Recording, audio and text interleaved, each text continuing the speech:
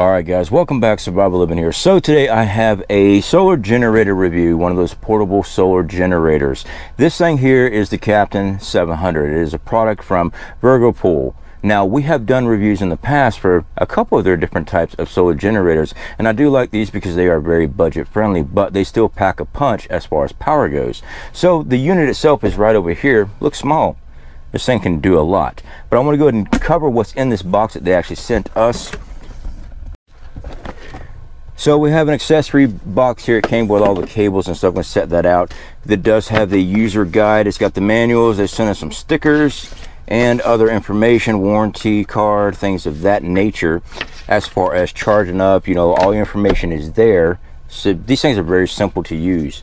Uh, power cords. They sent us three different types of power cords. One is your basic AC power plug.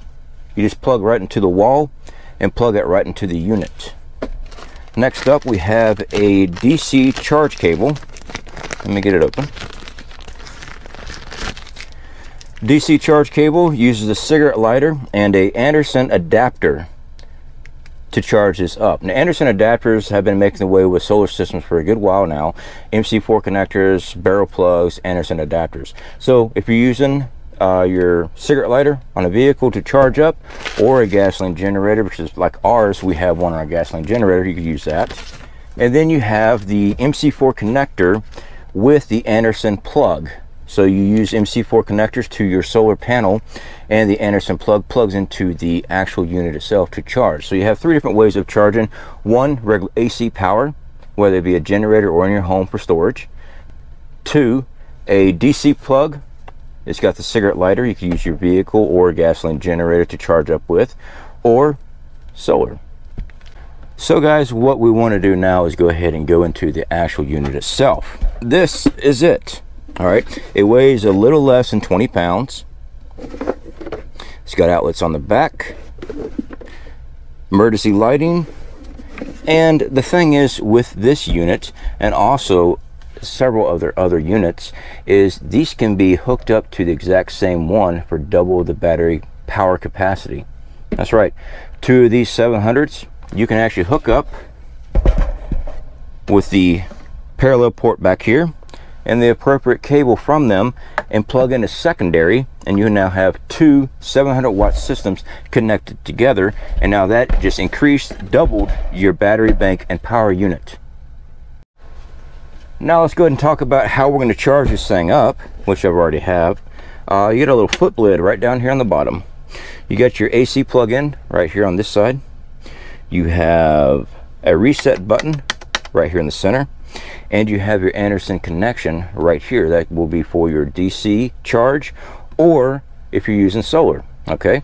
So if you're using your car battery or your cigarette lighter, I'm sorry, on a car or solar panel, you plug in here and that over there is for your regular AC. So very easy to use. It has a uh, reset button up front, also down in the inside, a simple power on, power off switch. Layer thing. Kick on here, we are at 100%. I don't know if the camera is actually picking this up because the camera I'm using, sometimes these LED screens looks like a rolling flash. It doesn't look like that in real life. It's just the way the lighting is.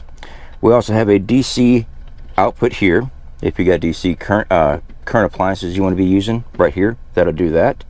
If you want to use that you just turn the switch on over here for your DC USB ports we have four USB ports. We have USB A's and also C's. You got two of each. If you want to use those just hit your switch turns right on.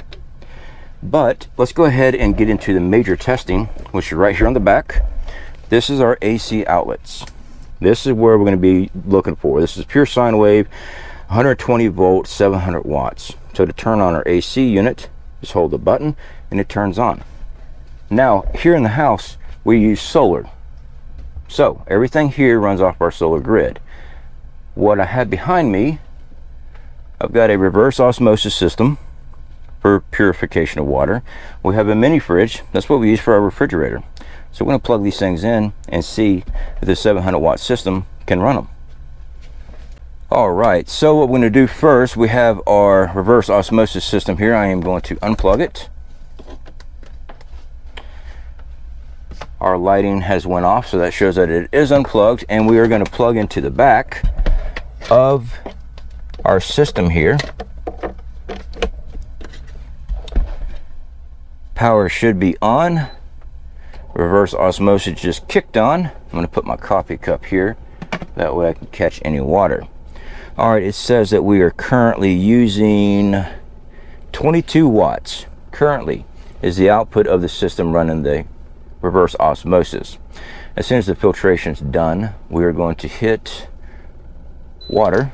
There we go. And we're going to get us some water here. And we're going to keep track. We're using 24 watts. It tells 18 watts. It says that we've got 18 hours of operation with this unit. Now I went back up to 19 because it has now stopped. 19 hours. Going to run this water filtration for 19 hours on the single charge of this system. All right. Now, I do know that the reverse osmosis system does not use a lot of power. That's why we like having it here because we use solar and everything. Next up is our mini fridge. Okay, our mini fridge is how we keep our food cold. All right, we have a freezer department in it and also lower section there. This is what we use in this house all the time. So what we need to do is unplug it from the wall, which is back here.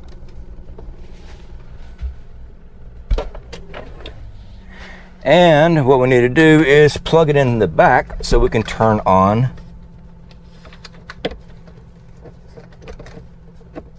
our refrigerator. Now, I'm going to wait for the system to kick back on. It's got a display shut off so you're not burning up a lot of power. All right, guys, so now that we have our mini fridge plugged in, it says we have 55 hours of power for the mini fridge. Now, I know that's not going to be correct because right now the doors are sealed, means all the uh, coolant and everything's shut in, the compressor's not kicked on. So, let me turn that display back on. We're going to open up the doors. All right. The lighting in there says that we're burning 16 watts of power uh, we knocked our battery supply down to 27 to 28 watts. I mean, 28 hours is what it says that we, if we left the doors all the way open on the mini fridge this entire time, we'd be burning 16 watts of power for 27 to 28 hours. All right, guys, next up, down here in Florida, you have to move air when the power goes out or it's just miserable. And some people would definitely need air just to stay alive all right you have to cool down your house or have to have air moving. So we've got one of our floor fans. I know it is dirty. It's because we use it all the time. We're going to plug this in. And again this is pure sine wave on these. Easiest way to tell is when you hook up a fan if you hear a lot of whining noises you know you don't have a pure sine wave system. So i'm going to turn this on high. I'm going to step away from the fan says I can currently run this for eight hours at 83 watts is what this floor fan will run is 83 watts an hour and it says I can run it for eight hours on high. So I'm going to switch it down to level two. Running 70 watts for nine hours straight and I'm going to put it on one. 56 watts at 11 and it bounced down to 10 so let's just say 10 hours running a box fan with this system for 10 hours straight on low now this one here guys is wishful thinking. This is only a 700 watt system but i have our window unit air condition here. So we've got our cord. We're going to plug into the back side here and we'll see if it'll run it. Honestly I think it might run it for maybe an hour and that's about it. All right, we're gonna put our display on. I'm gonna turn this on high cool. Currently 400, 500 watts are being used. 512 watts being used. It says that we have 74 minutes of use for air condition. So we did get an hour out of it. We're going to get an hour of air condition out of this little 700 watt system. Again, we are down to 489 watts currently. The air condition is on high cool, max cool on the fan, and currently 78, 79 minutes. Let's see if I can get this in camera for you guys. Yeah. So this small unit can run an air condition for an hour.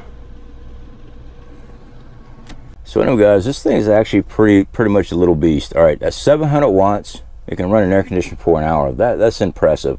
Um, I've thrown larger solar generators at an air condition and it won't even power it up. Even though supposedly they were ready rated over, they just couldn't do it. 700 watts could and could run it for an hour. That's important and the reason why I'm going to say it's important an emergency situation, someone is overheating, you yeah, an air conditioner for an hour. It's not going to last long, but it's enough to cool them down. But that just goes to show that you can throw something major power consumption unit at it. Let's say that you're on CPAP machines. You have to have a CPAP machine or some other medical equipment. You have to have it. This little unit right here, 700 watts. Yeah, it can run an air conditioner for an hour. So it's definitely be able to run your medical equipment. So with this, guys, I know there's a light on here. I'm to find it over here. All right so we got a light here. Most of these things come with a little strobe light and stuff guys so if you have epilepsy or anything like that just look away from right right now. We're going to go and cycle through our lights. One mode there brighter mode there. S that's an emergency light. That's SOS and then the off switch so there are four modes. There's a strobe light and then there's also the SOS light. Guys this thing is actually pretty neat. And also it has the wireless charging up top here. If your cell phone has that app and you can use wireless charging right there you go. Uh, right up here let me hit that switch. You have uh there it goes. You have a uh, Wi-Fi signal right there. That's for your Bluetoothing for your uh, wireless on the very top. So you just turn that off and to turn off the system just hold it down system turns right off so guys, again, this is the Virgo Pool 700 watt. This is the Captain 700. Guys, these things are actually budget friendly and I do like them because of that. If you know exactly what it is that you want to power up in a grid down situation, then you know exactly what size units you need to get. Again, they have different other options that are available, but this is the newest one that they sent me for testing. And again, you can plug this into the exact opposite, another 700 watt system and get double the amount of battery power. That's actually pretty cool. So now guys, if you're interested in this, of course, the links are in the description. Um, having alternative power is very important. People don't understand that you need power to survive. Can you survive without power? Most can, but there's also a lot of people that cannot. They have they they're dependent on medical equipment. We show the mini fridge If you're a diabetic, you got to keep your insulin cool. How are you going to do that? A system like this will keep a refrigerator running. It will keep that mini fridge running.